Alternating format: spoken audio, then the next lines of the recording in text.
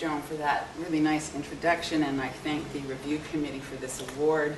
I think I'm more nervous than I was when I did my defense because of the um, great qualitative thinking I know that's in this room, and certainly in all the people that uh, trained me and brought me to this place in my work. Um, in some ways, my presentation follows on from that that was of the first speaker in the CQ series in September. So anybody who was here would have heard Melanie Rock talk about the indispensability, as she called it, of texts in qualitative research. And I think, and I hope by the end of my presentation you'll agree, although I'm going to take a slightly different take on how I use texts. But she spoke about the active analysis of text, what the document says, what it's made to say, and what's brought into view as a result of the analysis of texts. And so it's not just looking at the documents themselves, but it's actually looking at the context within which those documents are produced and reproduced over time. And I think that certainly my work also follows along some of that line. And Joan at the time asked a really interesting question about texts and how they interact with people. And she actually asked a chicken or egg question which comes first, the text or the people interacting with it? I don't know that I can answer that, but that question has sort of stayed in my mind, and you can see whether that's pertinent to the work that that I'm going to describe. In finalizing my thoughts for this presentation today, I came across a really interesting article by a, a writer I don't normally read in the Globe and Mail because I don't like his work. But he was talking about something. What caught my eye was this notion of something called the three minute, the three minute dissertation award. Very different from the award I've been given because the idea is that you should be able to talk about your thesis in three minutes or less. And in that, he used that as a platform, actually, to talk about the idea about whether new and difficult ideas can be delivered in such a truncated way. And what I liked about what he said was he suggested that it's the very fluidity of concepts, especially in the social sciences and humanities, um, that resist, and their resistance to the explanation of everyday language that makes them actually useful. And I want to underscore that. It's what makes them useful. So in this day and age when everything has to be useful, I want to make an argument that analyzing discourses and how people interact with them is actually a useful enterprise. And you'll tell me whether I've convinced you or not.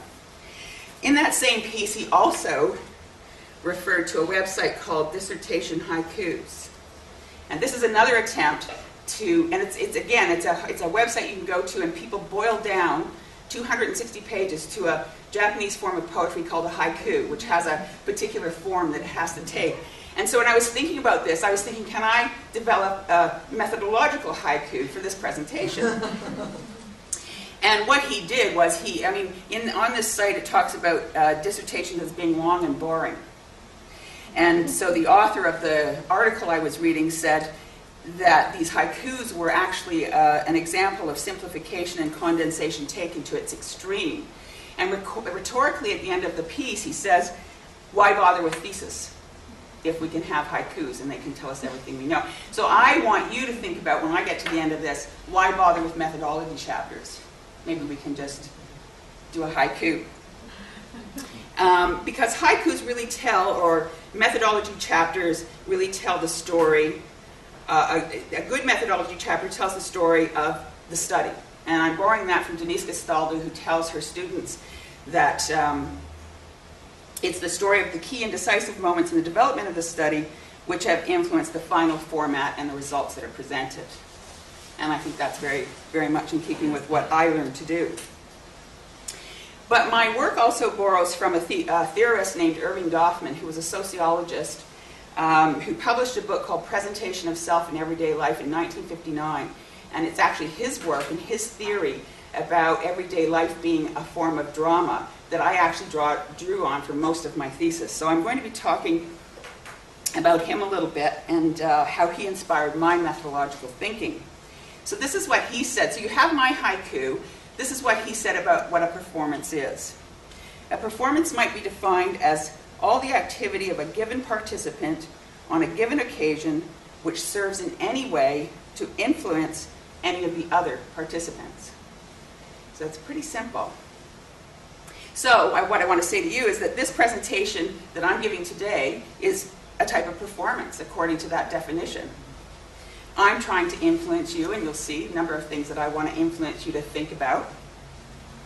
And whether or not my performance comes off will depend on a lot of things. The strategies that I'll use to convince you of my analysis, whether or not there are any disruptions or embarrassments because I don't manage to pull it off.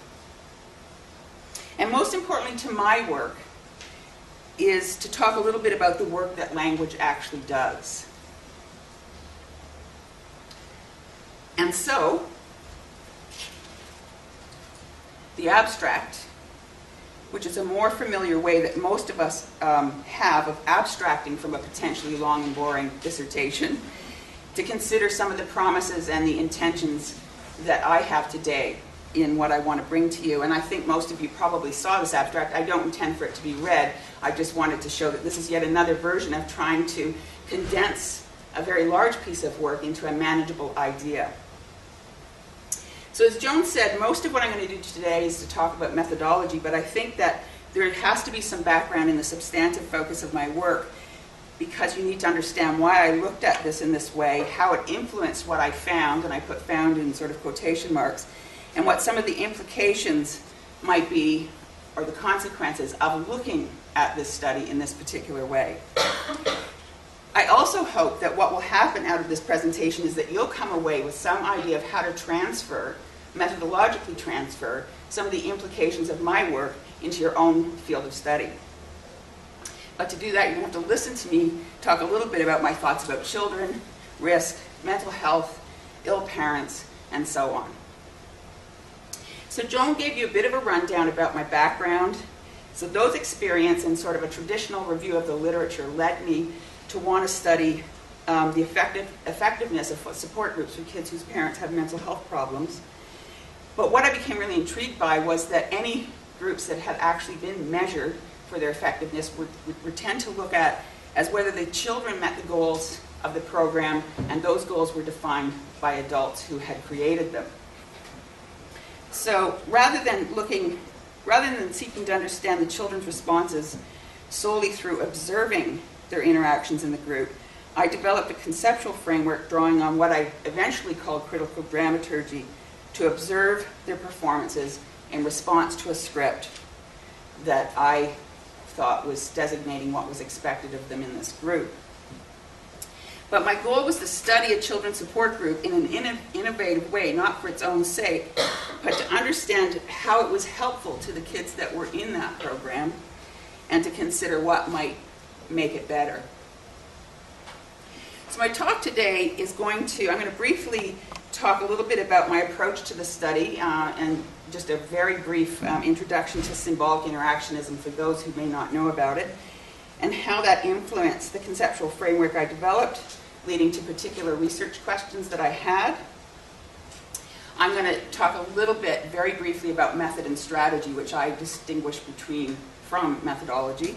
And then I want to spend the bulk of my time talking about my critical discourse analysis, what I did, what I found, and then very briefly, a little bit about the observations I made in the group and how the children and the adult participants actually responded to that script. I know there's some people who have to leave at 1 for classes, so I won't be offended if you disrupt my show and have to leave, not a problem. So, shaping my, the approach to my study were the key contributions of George Herbert Mead, Blumer, and the influences that their thinking around symbolic interaction had on Goffman's work. And Goffman, as I think I've already said, conceptualized social life and social interaction as a type of performance.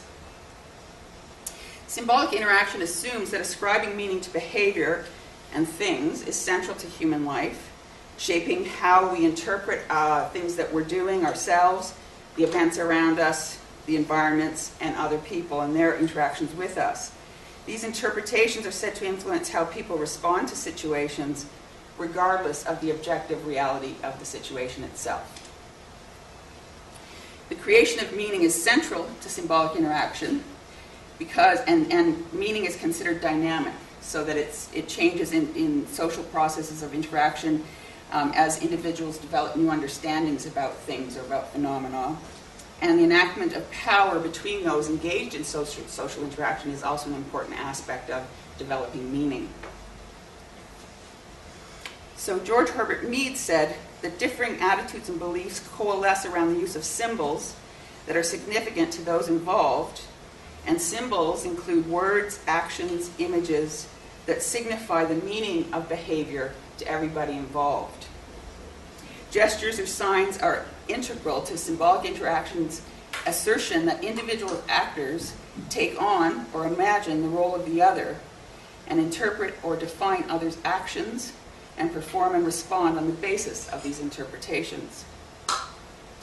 So, using these ideas, I conceptualize children in my study as actively involved in interpreting, defining, and evaluating their own and others' actions and interactions in the children's group.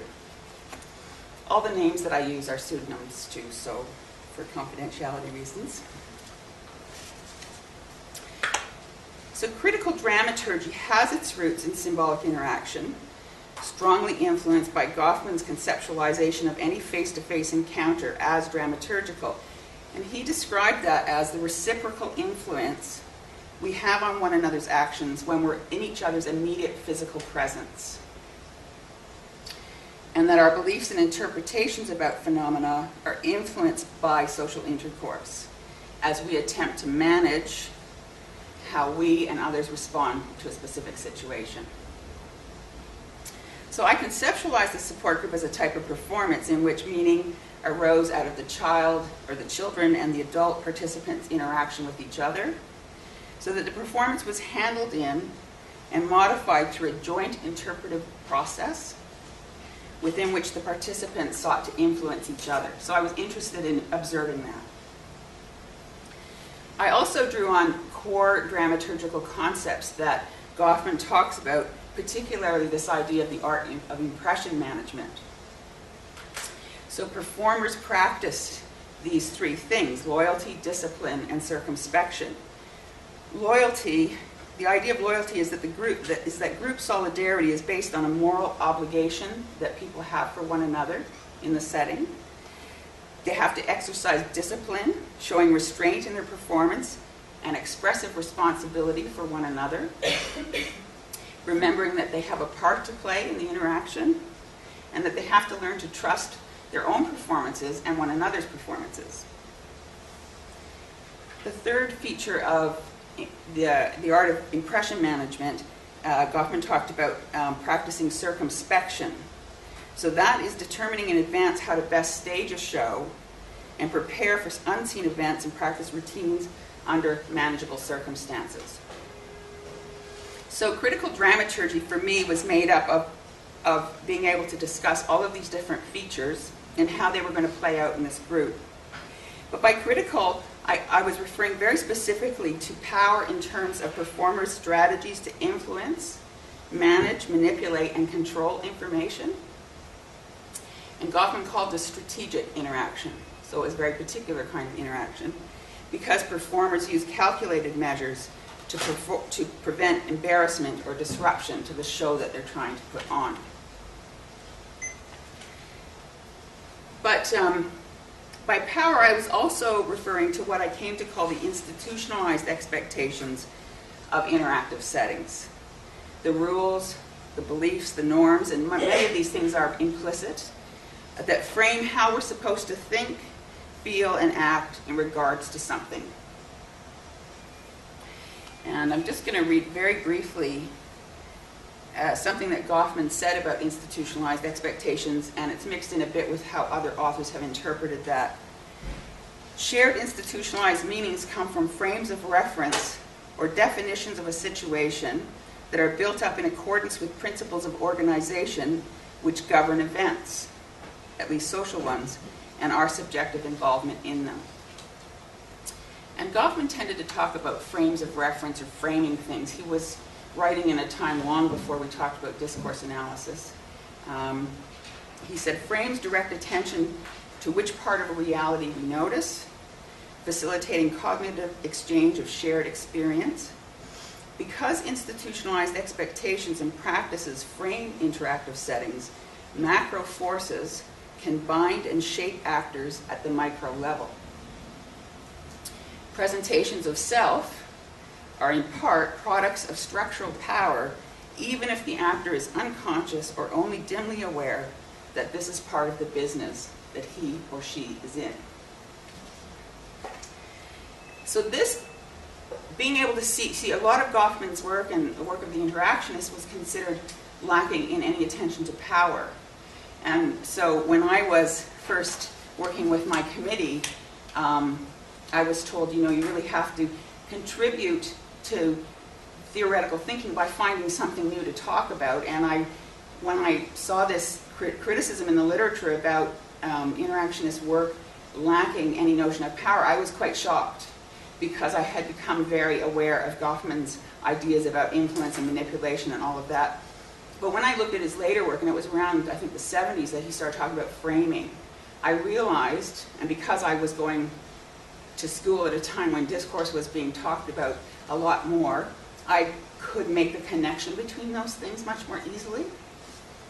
So by discourse, I mean a group of ideas or a patterned way of thinking that's identifiable in textual and verbal communications, but often located in wider social structures.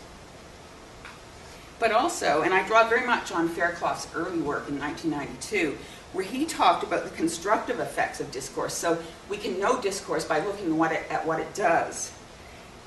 That the constructive effects of discourse are evidence in the, evident in the way they contribute to the construction of social identity and social relations, and also how they contribute to knowledge and belief systems. And you'll see how this actually became what I wanted to look at in the program manual of the, of the group I studied.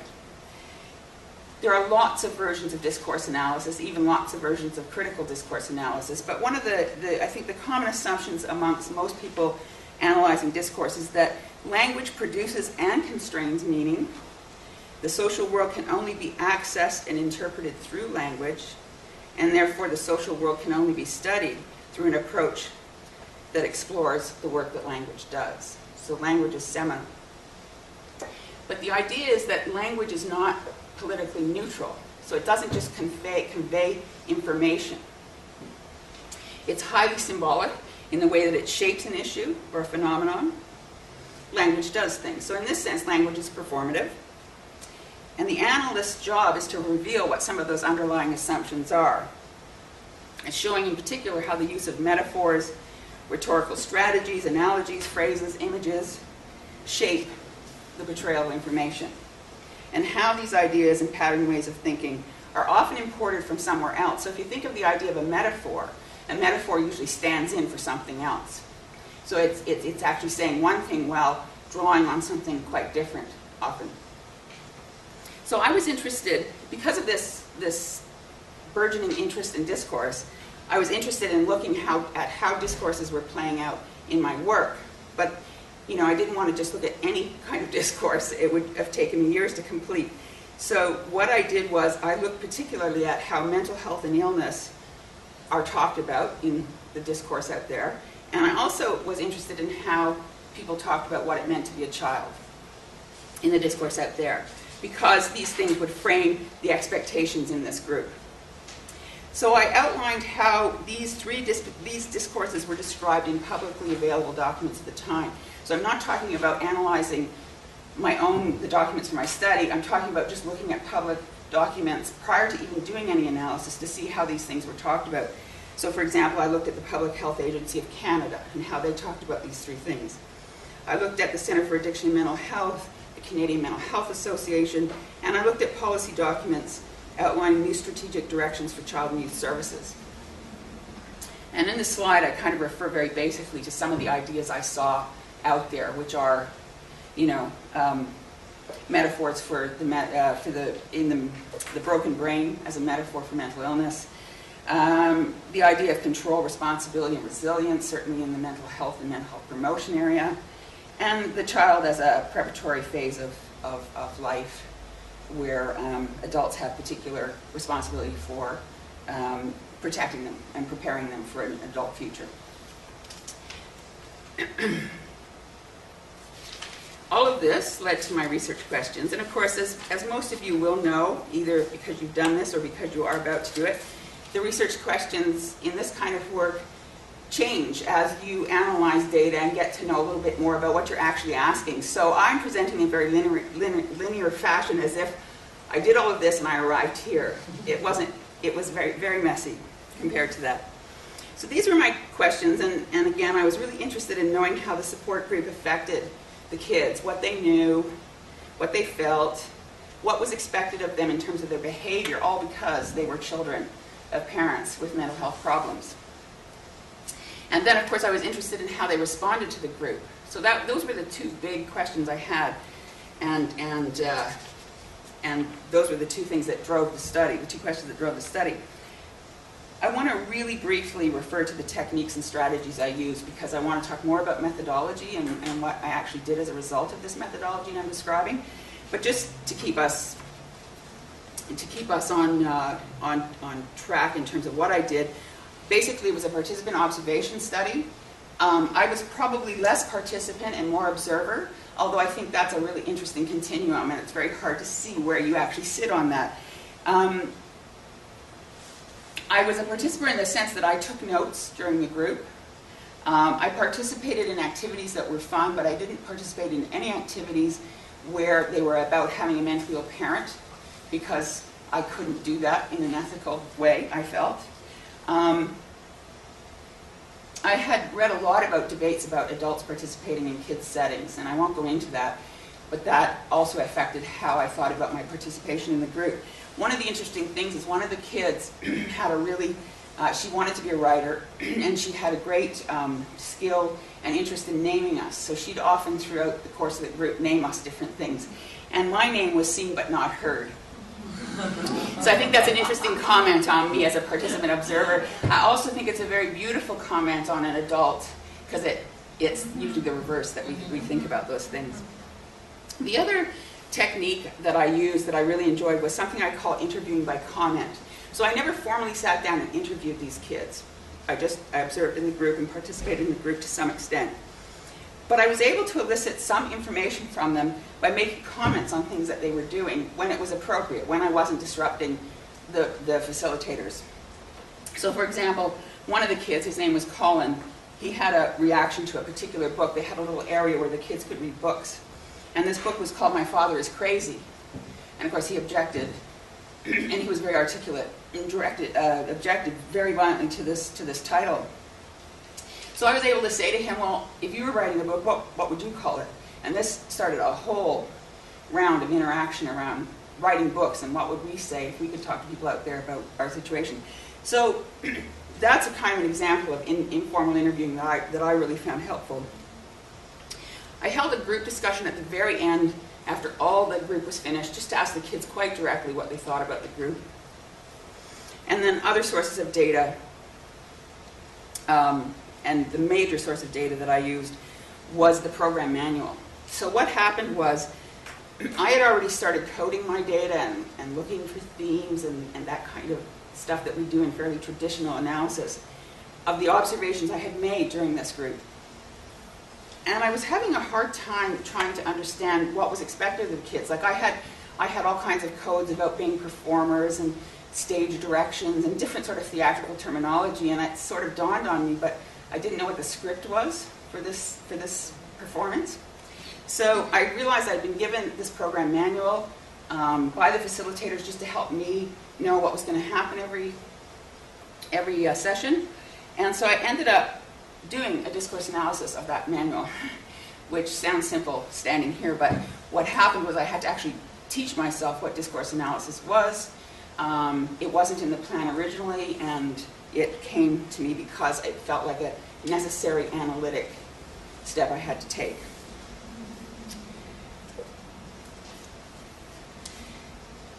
Uh, written field notes, pretty traditional written field notes constituted the primary data for the study. It described the participants, the setting, their interactions, what people said and did, documents, personal experiences I had in the group, um, any event I could observe. My notes were really messy, and I was really happy about that because the kids tried to read it. tried to read the notes. And it wasn't that I didn't want them to know it was in there, but I wanted to protect one of the confidentiality issues between group members.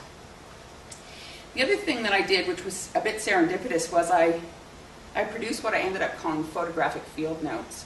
I didn't have any permission to use a camera in the study for my REB, but I took a camera and I photographed everything but people.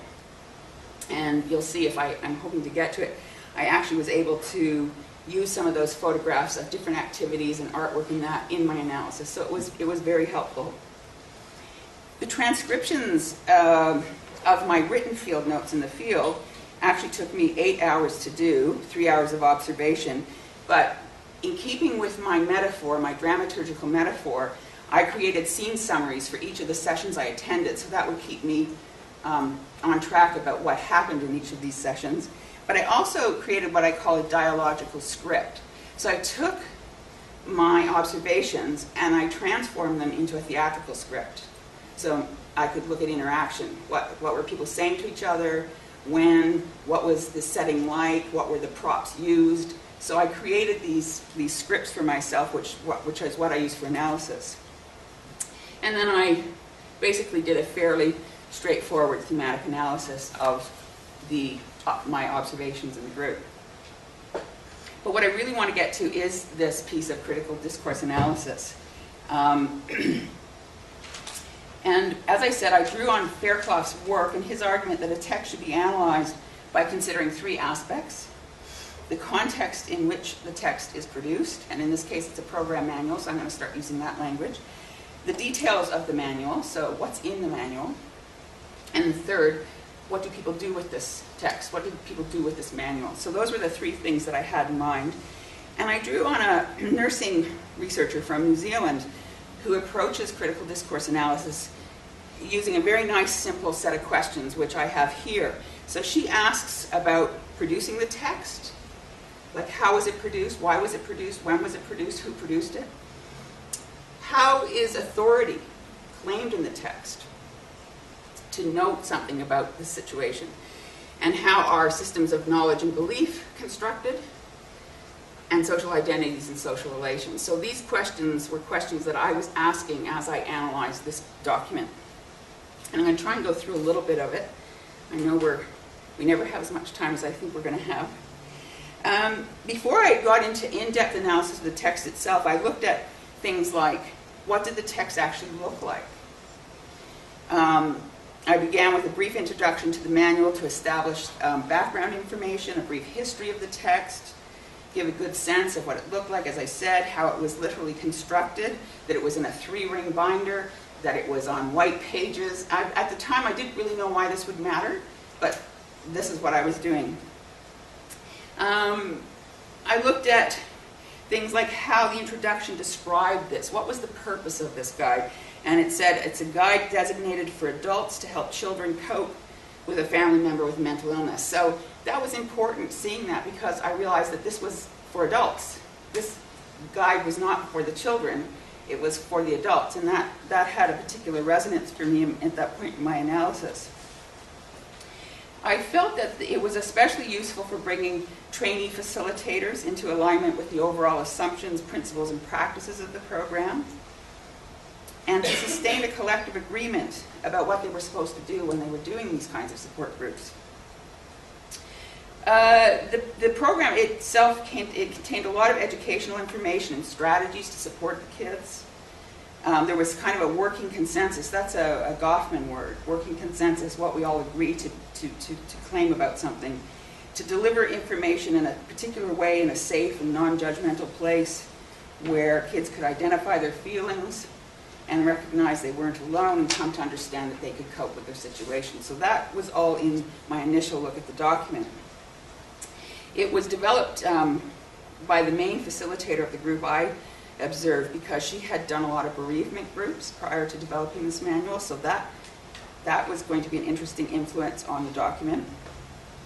And she also had her own experiences with parental mental illness, which she talks about in the document the other thing about the document that was interesting just from looking at it was it was filled with sticky notes, things crossed out, So it was this kind of layering of information, of things that they had decided to change for that particular session anyway.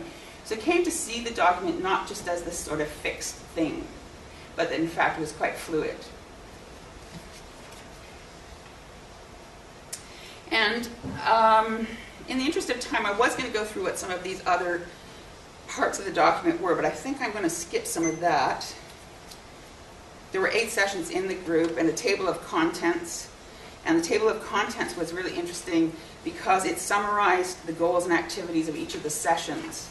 So at this point, I felt like I was starting to see what some of the less implicit rules were about this group by looking at what the goals of the facilitators were. So for example, in session one, the goal was to establish relationships among the members, including the facilitators, to create an atmosphere where people could feel comfortable talking about mental illness. And then there were activities to fulfill those goals. So participant uh, introductions, children were encouraged to see that they were not alone. There were ground rules for the group that had to be established, keeping one another's confidentiality, and the fact that in the introductory group they would start to introduce the idea or information about mental illness. And so I'll skip to session five, just to give you, an, it was slightly different.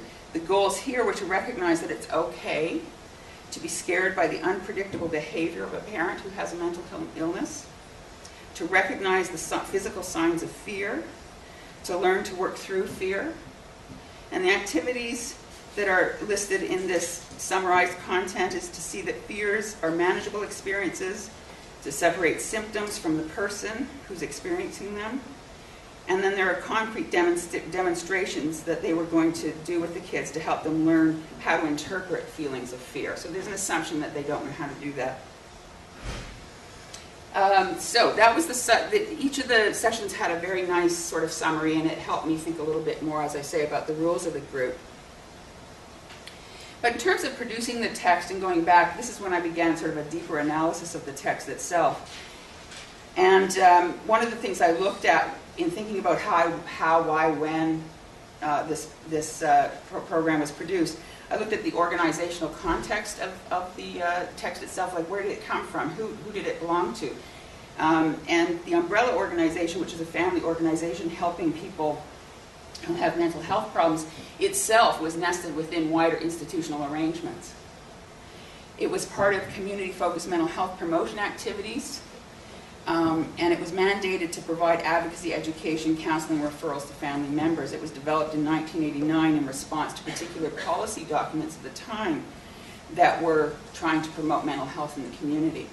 So the children's group was nested within the large organization, which itself was, was nested within this much wider idea about mental health promotion. But the document was also produced, in my analysis, to help manage the group and the kids in it, and to help manage mental health information. In terms of managing the children, there are things in the document that talk about these children. So these children are a particular kind of children. Um, there's ideal group sizes. They talk about a safe location. They talk about how to make kids feel part of the group. So these are all management strategies that I think the document is intended to help the adult facilitators do but it's also about managing information. So there's specific tips and dialogue in the document. For anybody who's coming in as a trainee facilitator, they'd be able to read the document and presumably be able to conduct one of these groups. And, and it's actually, there's actually, it's just like a theatrical script, there's actually dialogue that's given to the facilitator. Um, and also each of the sessions have very standardized formats. So there's an opening time, a working time, a closing time in each of the sessions, which became quite interesting to me about how that was used to manage um, what was expected of the group. In terms of, the, so again, going back to my discourse analysis and Crow's questions, um, I asked of my analysis, how is authority to speak about mental health and illness and about being a child uh, established in this text, and how are connections made between discourses to support these claims that the text is making. And I'm going to read from this because it's a little bit dense. um, in terms of, so I talk about the authority to speak through form and structure. The opening, working, and closing times provide a narrative structure to each session in which the facilitator can expect certain things to happen in an orderly, logical, timely, and linear fashion. Each session has a beginning, middle, and an end, which is dictated by the facilitators. The sequential unfolding of events gives rise to literal expectations about how activities will take place. But this narrative also operates more figuratively, suggesting how the story of the group is expected to go. The structure imposes these expectations. So, for example, opening time is an opportunity to begin gathering personal information about the children and their lives outside of the group, and to provide an appropriate response to any outstanding questions that they might have had in other sessions. In this way, the facilitator can assess what Goffman calls information conditions that precede and influence the interactions that follow. So that was the opening time, and that's how I analyzed it, interpreted what was going on. The middle part of the narrative, or what, I, uh, what the program manual referred to as working time, this is where children learn about mental illness and how to express their feelings about it. The facilitator is directed to manage the participants and certain activities and is given specific lines of dialogue to accomplish this. The narrative for each session concludes with a formal closing time in which children are expected to process what they've learned and facilitators answer any lingering questions, especially if they're running out of time, which they did all the time, often while they were eating the evening snack. As a kind of denouement, the tensions or conflicts associated with unanswered questions or difficulties processing information are supposed to be resolved before the children leave the session. This format is expected to be played out each and every week. Finally, the affirmation statement is used to conclude the narrative by making declarations about the children at the end of each session. This is meant to acknowledge children's knowledge and skills and their contributions to the session in order to encourage them and, as the manual said, build their self esteem. These statements also encourage children, this is the Goffman, my Goffman take on it, these statements also encourage children's loyalty to the group by showing that they all have a part to play and reinforcing how they are learning to do this with confidence as disciplined, disciplined players who can trust their own performances. The other thing that was interesting about this document from this point of view was that the text had an unseen but seemingly omniscient narrator. So there was this voice operating in the background of all of this text that was directing everything, and in particular, directing the adult facilitators and it, it was meant to be authoritative and authoritative and knowledgeable about mental health and illness in children, directing the facilitators to do and say certain things in a given activity. In this way, the facilitators are also managed, I argue, so that they can better handle the group by following rules about how emotions should be felt and expressed, learning an appropriate emotional vocabulary for these feelings, and learning to make connections between emotional elements to do with physiological arousal and situational events. So the unseen narrator, who I think is more familiar to, to those of you who studied literature prior to postmodernism, the unseen narrator is a very particular kind of character um, that we've learned to distrust. So I was thinking about that while I was analyzing this document as well. In terms, I'm not going to speak about the authority to speak through the content because that would take too long. Um, but just to know that there is a lot of professional claims that dominate in terms of the authority to speak.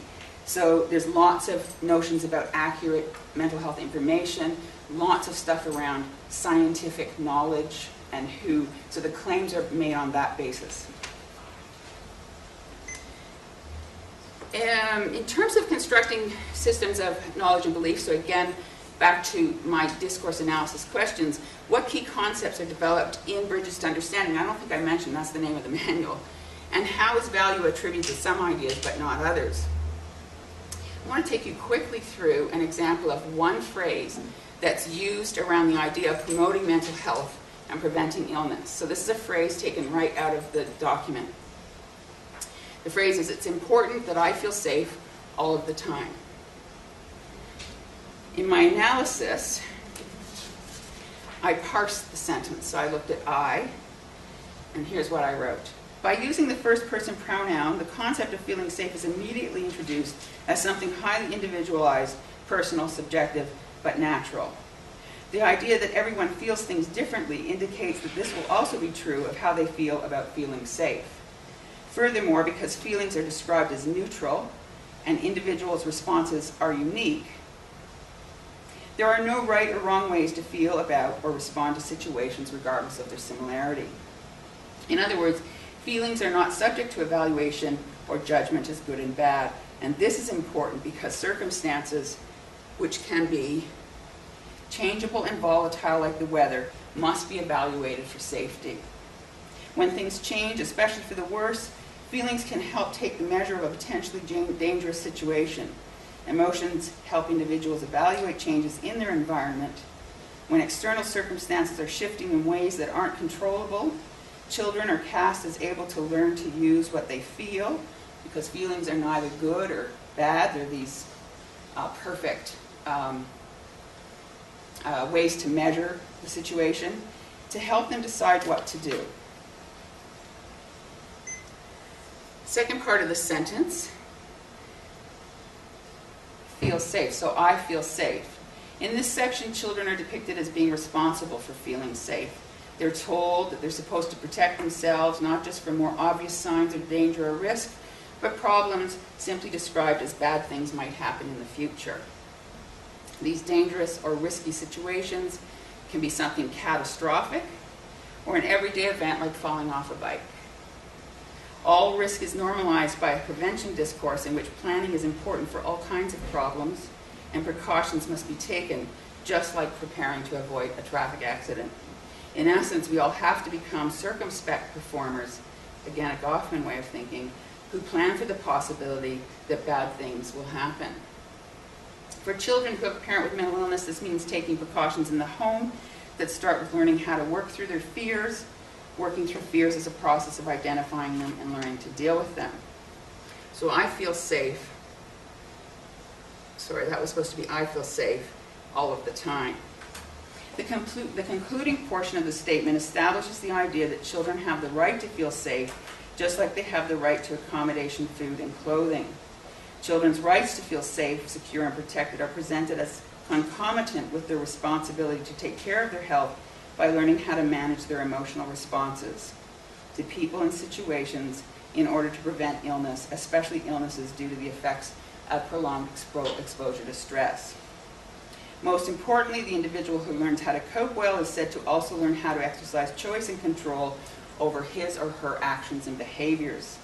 This is a fundament, fundamental premise of Bridges to Understanding because a significant objective of the program is for each child to understand that they did not cause the illness, they can't cure or control it, but they can cope with it. Knowing the difference between what they can and cannot control is presented as part of learning how to cope with their situation. It's also part of learning, Goffman, how to act in a disciplined manner and manage life and take responsibility for one's own behaviors. Now, I'm a bit worried we're running out of time and I've gone, I think, a lot further than I thought. I didn't get quite as far as I wanted to. Um, but just suffice it to say that I also asked questions about how social identities and social relations are constructed in the text, how ways of being in the world um, are constructed by these particular discourses. And I found that there was very particular things said about how some adults are safe, while others are considered um, so some adults are safe, responsible, and trustworthy, and others are risk. So the kids are talked and taught about who these people are and how they're supposed to uh, respond to them. But similarly, there's lots of talk in the text about who these kids are and who they're supposed to be in their relationship to one another and to the adults in their lives. So all of this to say that there were performance implications for this discourse analysis that I was interested in understanding before, or in, in the context of the observations I had already made in the group. And these are some of the findings that I had from all of what I've been telling you about these, these questions that I asked of the script. So that there's the idea that real risk comes from prolonged exposure to frightening, unpredictable behavior, that these children are innately resilient but maladjusted, and that to be healthy, they have to learn to stop negative thinking and feel and learn to be safe.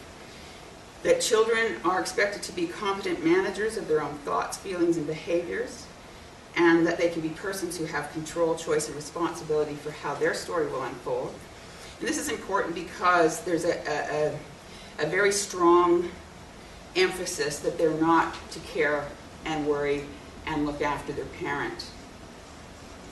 And that by and the script also begins by positioning children as having a common identity that normalizes their experience and constructs their status as no longer alone. So those are the kinds of expectations that I found um, in looking at the, uh, the, the script that I that I uh, came to to um, use in thinking about the rest of the analysis. Um, it's going on one o'clock, Joan. I still have quite a bit, and I'm not quite sure whether I should continue on or stop for questions about the discourse analysis. How much more do you have? Well, I, I could go on for a bit. I mean, what I, what I haven't done actually is talk about how the kids responded to this. Why don't you go on talking a bit? I know there's a bunch of people that have to leave. Yeah, So so- they just leave and it's a bit disruptive, but. Yeah, Go on for a so, little bit. yeah, okay, I People have to apologize, I didn't realize, yeah, okay. So, quite quickly, the group um, was seven kids, they were seven to 13, there were four males, three females, there were brothers and sisters in the group, um, two facilitators, and an ethnographer, that was me. Um, I wanted to show you quickly some photographs of the, I always find it's really helpful for people to get a bit of a sense of what it was like to be there. Um, so this is the setting. It was in a large community recreational complex, and we conducted the group in a little room at the end of that hall. Uh, this is what I call the stage. The kids sat around this table for the most part, although sometimes they actually shoved the tables aside so that they could do physical activities. And you can see in one corner there's agenda paper, so there was always an agenda set up every day for, the, for every session props, lots of props used every day, to the extent that they had this sort of industrial dolly that they had to bring all their stuff in to perform uh, the activities. Some of the activities we did were things like drawing pictures of um, their parents when they're well, their parents when they're not well, and abstract uh, pictures of mental illness as, as they saw it. Some of the activities that we did, the uh, clothespin dolls were ways of trying to teach kids about their risk for inheriting mental illness, so statistical information. Um, the brown words on the paper are uh, a stigma, an anti-stigma session that we had where kids got to talk a little bit about the kinds of names that their parents are called and what they thought about that. So the results of the performance, I actually, in the thesis, there's two different chapters about results. The first one I call Performing Mental Illness Talk, and it's all about the kinds of things that kids said about what it meant to perform mental illness talk. Um, and in the first one, I'll just, uh, one of the boys said, all our moms have have a problem. They had a really hard time using medicalized language, and a lot of them resisted medicalized language. And I make um, a point of this in the implications of my study to say that kids have um, a preference for talking about the situation in particular ways that are more relevant to them than medicalized language. And I think to support them, we have to think a little bit about what that might mean for them. Um, the second chapter of my results was what I call performing mental health talk. And this was, and I write according to each of these three um, categories. So talk about risk, talk about fear, and talk about safety. But what I really wanted to get to was to show you this little sample of what I call a dialogics. This is the script, a transcription from my observations, and to give you a little sense of how I used it. Uh, so I'll just read it quickly. Martha is the facilitator, the adult facilitator, and the rest of, of the characters are, are the kids. So Mar- this is the very opening sequence, the very first thing that's said in the group. Martha says, does anyone know why we're here tonight? And Elliot says, to bake a chocolate cake. And they're snickering all around the table. And she says, okay, okay, somewhat impatiently, only one person speak at a time, you know, like school, but not school. And there's a pause.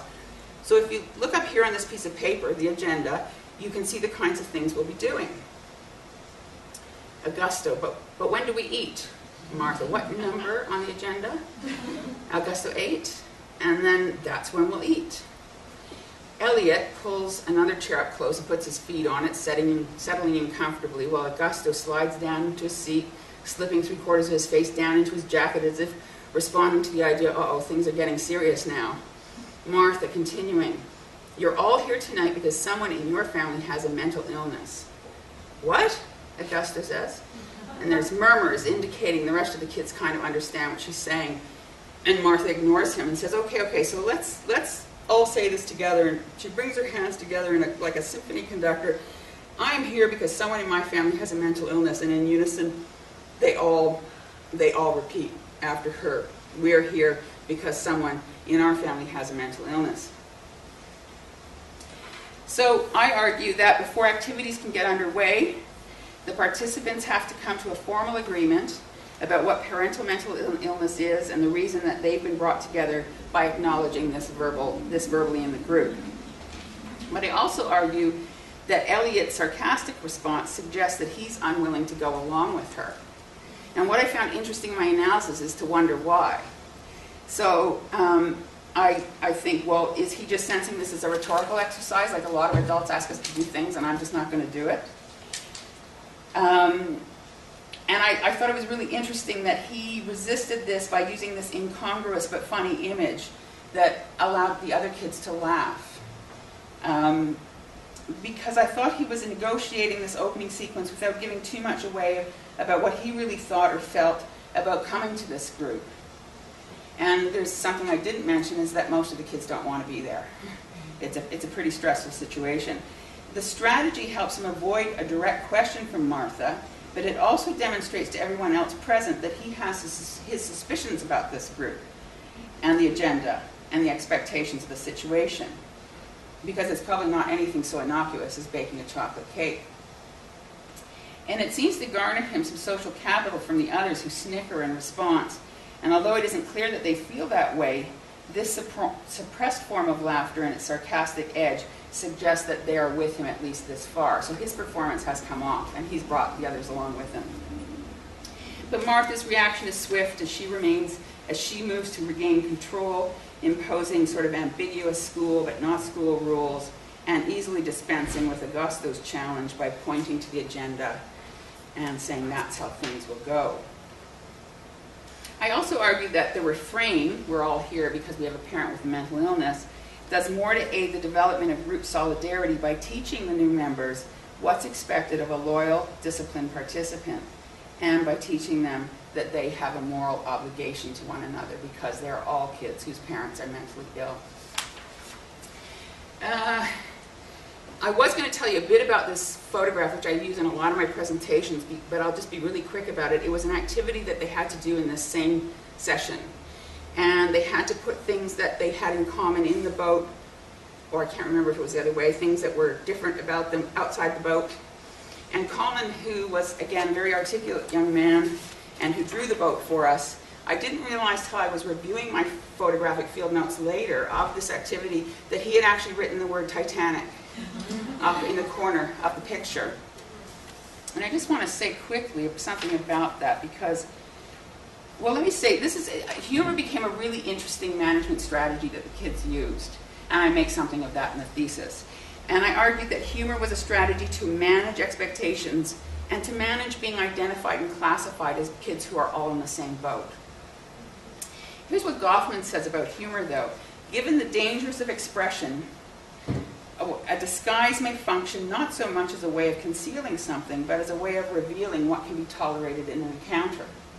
So we're not hiding something, we're showing something about what we hide. That's basically his point. He said, we, we fence our encounters in with gates. The very means by which we hold off part of reality can be the means by which we bear introducing it. And I, I particularly like that quote because I think in the kids' humor management strategies to pull off being successful kids who have parents that are mentally ill, they use humor to deal with really difficult emotions. But they also, so in this example, I argue that they can refer to their situation as being the Titanic, something quite um, disastrous, no hope, um, really challenging the adult facilitators right off the get-go, don't tell me this is going to be okay. But they do it without having to confront those ideas directly, which to me is a fascinating strategy. Um, I think, and I summarize all of this nicely in the end of the thesis by talking about um, how being identified as all in the same boat was meaningful, but it also was consequential to the kids. Um, so it was meaningful because they were expected to learn particular things about mental health and illness because of the assumption that knowledge is power. And I, I talk a little bit about how knowledge in fact is not power always, or it's a particular kind of power. And so the assumption that if we just shove enough information at someone, they're going to have power is actually not necessarily a supportive thing to do. And the kids had a lot of resistances to this that I, I use as evidence for that. Um, they're also expected to express their feelings about what it's like to be a, a child in this situation. But in, in doing that, it's used to help them manage only their own lives. As I said earlier, there's this real stricture around any idea that they would be responsible for or want to or should help their parents. So the whole point of this group is to get them to move on from the situation, even though they actually can't. So I think there's some real interesting ramifications for those expectations. Um, I always like to conclude my presentations with something that the kids said to me privately, one of them in particular, um, because I think that sometimes some of this can come off as if it was all negative, and I don't think it was. Um, but one of the kids said that they thought the group was great because it showed a real interest about this, so obviously they want this talked about. But they also saw themselves as the teachers. So they saw themselves as people who had valuable knowledge. And I think that's interesting because the assumptions about, about Bridges to Understanding are the assumptions that many of us make, and that, that kids are the students and they have to learn and we're going to support them and everything's going to be fine. When in fact, they see themselves as having something to offer. Uh, and I shared this with Martha quite recently. Martha always gets a really bad rap from my presentations because often people read my work and think that she is a real control freak and that she, you know, they don't get a, a, a sense of Martha, and I think I have to bear some responsibility for that. But I showed her this quote, and she, she, took, she took great heart in the fact that the kids found it helpful from this perspective and that they saw themselves as having something to teach her. So I was quite happy about that. I always include something from Colin. This, the kids were upset that I couldn't photograph them, which I think is interesting. So I agreed to, to photograph Colin from the neck down. This is the kid with the Titanic. And I think as a qualitative researcher, that's a perfect slide. Um, so in concluding, I return to my methodological uh, haiku and leave it to you to decide whether all of what I said and the script that I didn't even get halfway or probably three quarters of the way, I did get three quarters of the way through, is something necessary or you know, could you say that in terms of this haiku, you kind of understand a little bit about not only the idea that perform that critical dramaturgy is about performances because they are about strategic interaction, but they're also about language at work and how those two things work together. So, oh, I know I have to do this. I want to thank my committee, um, particularly my co-supervisors, Patricia McKeever, Katherine Boydell, and Mary Seeman, my cast, and the producers or funders of, of, of this work. So thank you for your attention. Um, sorry that I couldn't, uh, that I went over a bit, but um, yes, Denise. Can you go back to the haiku? To the, This line. the haiku, yes. Thank you. And? I just want to read it again. Mhm.